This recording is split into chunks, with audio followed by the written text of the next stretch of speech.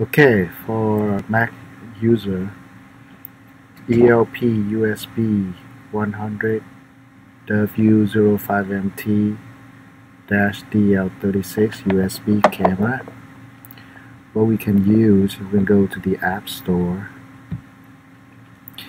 and we can download the Debut video capture software free on this one. When we open it up, so this is the uh, laptop. So they have two camera. This one is called USB 2.0 and the other one is from the built-in camera but we're talking about this USB right now. So how do you set it up? So the output hotkeys record snapshot. So when you record all day you don't set that. Then it will record maximum. So I'm going to use uh, 1280 by 720. You have encoder option, which is going to use H264 high at 5000, or you can use lower one if you don't really need the quality. And the video option is 1280, and it's you can change the frame rate if you want, but 30 is good. So recorder as dot move so all the format you have to pay. So this one's good. Okay, so let's do this. Record. So now let's see how good it is. It's very clear. Hmm?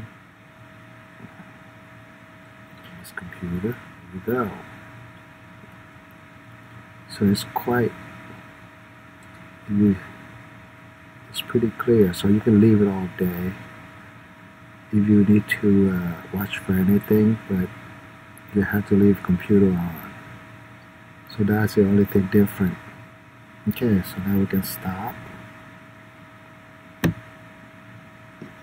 We can open the recording and we can open it up. That's pretty good, huh? So we look right here. 45 megabyte for 1.4 minutes. So if you have a big hard drive, you can record all day and you can start the next day or whatever. So it's pretty good. So this is one of the software for Mac, which is really good. So after we record it, we can go to Movies, Debut, Video Capture or Free, and you go to Recording, and whatever you record is in here.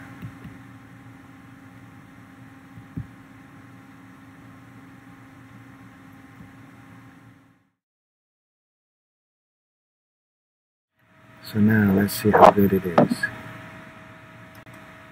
It's very clear. Hmm? There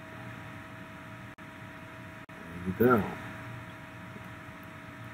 So it's quite you pretty clear so you can leave it all day